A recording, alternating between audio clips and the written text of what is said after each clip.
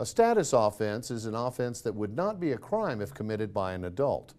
The most common status offenses are truancy, curfew violations, or underage consumption or possession of alcohol. Other status offenses include incorrigibility. All the states have enacted laws or rules that provide that status offenders may not be incarcerated.